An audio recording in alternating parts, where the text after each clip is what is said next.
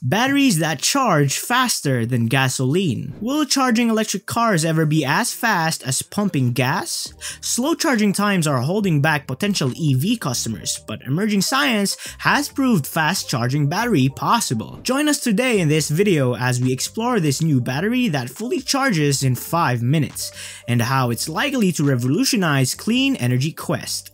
You can pause for a moment to click the subscribe button and the notification bell to receive more interesting content from this channel. Electric vehicles are gaining popularity fast, but some prospective buyers remain hesitant. One big reason is that charging EVs is slow. While drivers today are accustomed to filling their gas tank in less than 5 minutes, EVs, depending on the size and specifications of the battery, typically take at least 30 minutes to get 80% charged at the fastest charging stations out there. But what actually happens during normal changing? The batteries inside today's EVs are composed of thousands of lithium-ion cells with the ability to store and release energy thousands of times.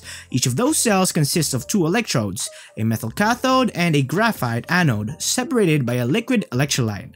While the battery is charging, lithium ions flow through the liquid from the cathode to the anode, filling up spaces between the graphite layers. Now here comes the puzzle to be solved by supercharged developers. The speed at which lithium ions move from from the cathode into the anode dictates how quickly the battery charges. If lithium is forced into the anode too fast, problems start to arise, including overheating causing them to degrade over time.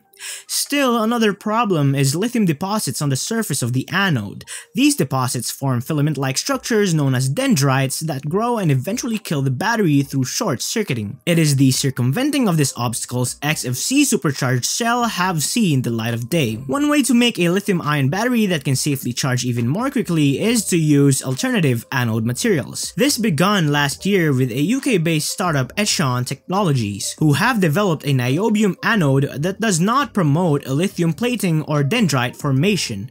Batteries made with this material can be charged quote-unquote as fast as you want, says CEO Jean de la Verpilliere. His prototype EV battery cells can be charged in 6 minutes quote-unquote without impacting the safety or life of the battery, he says.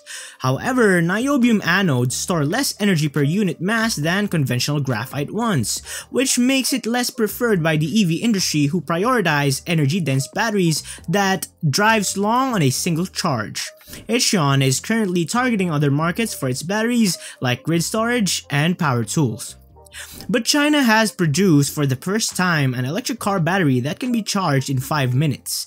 The new lithium-ion batteries were developed by the Israeli company StoreDot and manufactured by Eve Energy in China.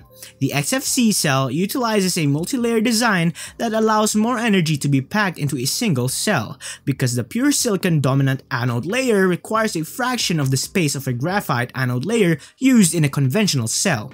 The Israeli battery developer has concluded a strategic framework agreement with the Chinese battery manufacturer.